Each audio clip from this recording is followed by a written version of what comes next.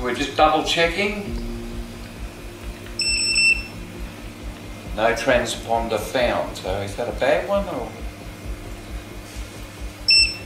No, that's a good one. I just didn't push the button right. There's a lesson to be learned.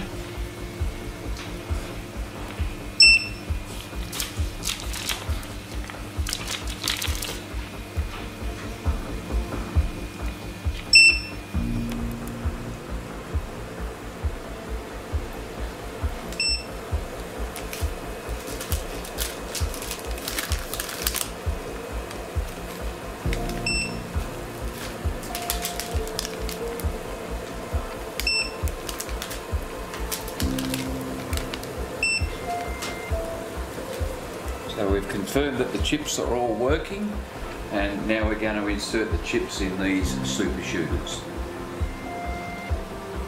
So even this juvenile fish has got a spot on it already. And that's what we call a super shooter.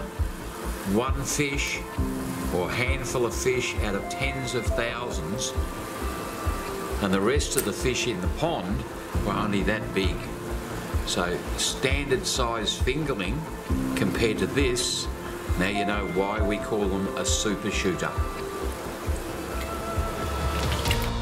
This is a super shooter that's come out of a pond of tens of thousands of um, babies, which are about that big. And look how much bigger this one is. And it's winter. So what do jade perch eat in winter?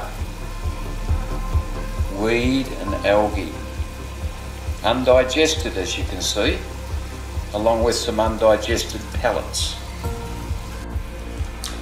So now we're going to put a chip in one of these super shooters so that when they grow up and become sexually mature, we'll know exactly which fish they are, which pond they came from, when they were spawned, and who we're going to breed them with.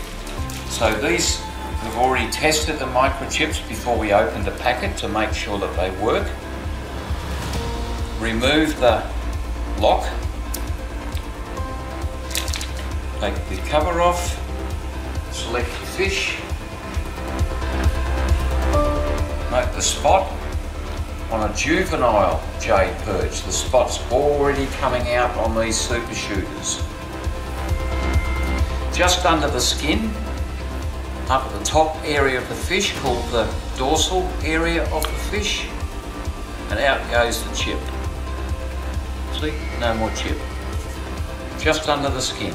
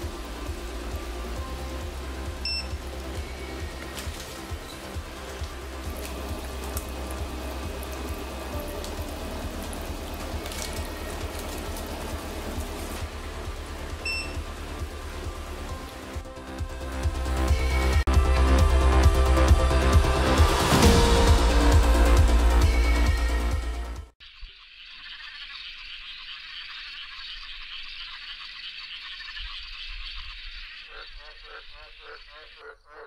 you.